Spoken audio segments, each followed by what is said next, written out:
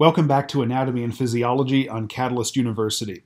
My name is Kevin Tokoph. Please make sure to like this video and subscribe to my channel for future videos and notifications.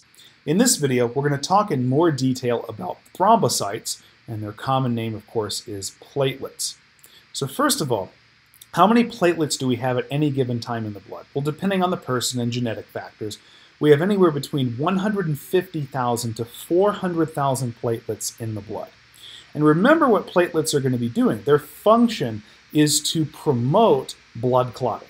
So when you have damage to the blood vessel, they're going to stick to that wall of the damaged blood vessel to prevent blood loss.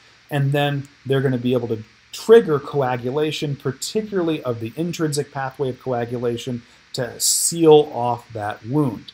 And in the process, they're also going to release chemicals that are going to cause vasoconstriction, so that you don't have so much blood running through it. And then also chemicals that are going to stimulate the healing process for that injury site. Okay? Now, platelets are only going to last around 8 to 10 days. They have a very short lifespan. In fact, on average, they have the shortest lifespan of all formed elements in the blood. And so, for that reason, they have to continually be generated. Now, they're going to be generated ultimately from cells that are very large called megakaryocytes. Okay, we actually see a megakaryocyte right here. Relatively speaking, it's a very, very large cell. Okay. Now the megakaryocyte, I want you to imagine it's like a dinner plate. Okay. I'll explain why I, I mentioned that in a few minutes. But this is like a large dinner plate, just a really big circular cell. And this megakaryocyte cannot leave the bone marrow. Remember that hematopoiesis, the formation of all these formed elements, occurs in the red bone marrow. This megakaryocyte can't leave.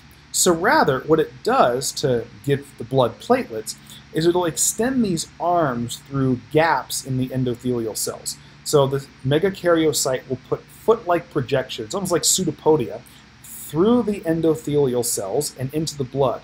And just with the sheer movement of the blood, it's going to practically slice off pieces of these legs. And so ultimately what you're going to get are these little platelets that fragment off. And I don't know this for fact, but at least helps me remember it. If you think of the megakaryocyte like a plate, if you were to throw a plate on the ground, it's going to shatter into a million little pieces, right?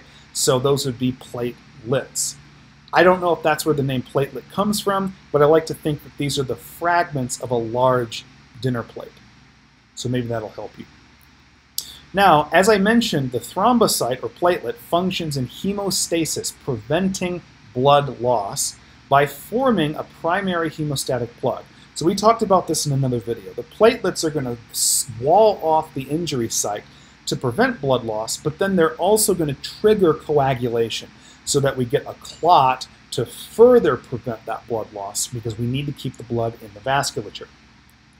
Now, a few other things about platelets before we really go into some detail on their development. Uh, there are several factors that initiate a blood clot and increase risk for clotting disorders that have to do with platelets. Okay? First of all, if you have any inflammation, so inflammation in general is going to cause damage to blood vessels. Okay? And so when you have damaged blood vessels, the damaged endothelial cells, which are these cells right here, are going to release chemicals that activate platelets. And anytime you unnecessarily activate a platelet, you're going to increase the risk of a blood clot forming, and that can actually break loose eventually and cause a stroke. So that's very bad. Additionally, atherosclerosis is caused by inflammation. So just inflammation in general is really bad. Okay? But that inflammation can trigger activation of platelets because inflammation damages these endothelial cells, causing platelet activation. Additionally, impaired blood flow can also trigger this because impaired blood flow makes it more likely that the platelet will actually stick to the wall here and it may actually become activated. So the main point of this is that we need platelets to function when there's blood vessel injury, but there are certain factors that can cause platelets to become abnormally activated, and that can lead to a blood clot in the blood. And if a blood clot were to stick on the vessel wall right here, it would occlude blood flow. And when it sticks on the vessel wall, that's what's called a thrombus. If that thrombus were to break loose and then travel freely in the blood, it becomes an embolus. Okay? If that embolus was to move into the cerebral arteries of your brain, it could cut off blood flow to a part of the brain and produce a stroke. If it made its way into the coronary arteries of the heart and occluded blood flow there, it would cause a heart attack. So embolus, very, very bad. But when platelets are working normally, now I briefly talked about megakaryocytes here and how they fragment into platelets. I want to talk a little bit more about the platelet developmental pathway. Now, all formed elements are made through hematopoiesis in the red bone marrow. Okay? Here we look at red blood cells over on the left and platelets are on the right.